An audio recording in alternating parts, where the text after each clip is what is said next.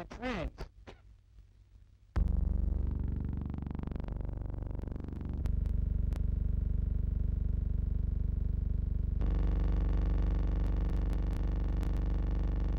situation which had developed in Korea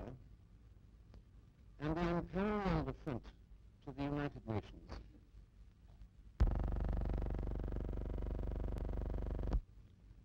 My government welcomed the forthright statement of the President of the United States and the prompt initiative of the United States government in offering aid to the government of the Republic of Korea, established under the aegis of the United Nations,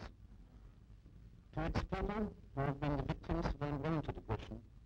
and to the restoration of the situation there.